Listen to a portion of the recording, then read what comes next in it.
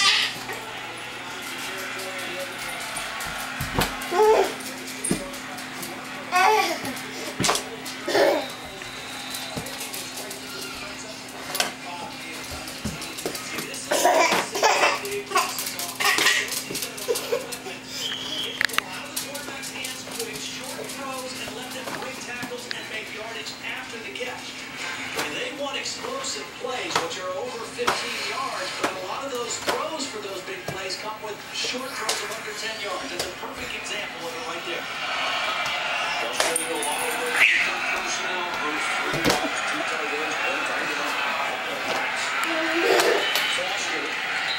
He's one number tonight instead of his number 27 because of his teammate David Holbert who had to sit out the entire year after a major knee injury. So in case you're a Foster fan, you're wondering why you don't see 27. One of the real battles will be this, this Tennessee offensive line, a very veteran group against the strength of the UCLA.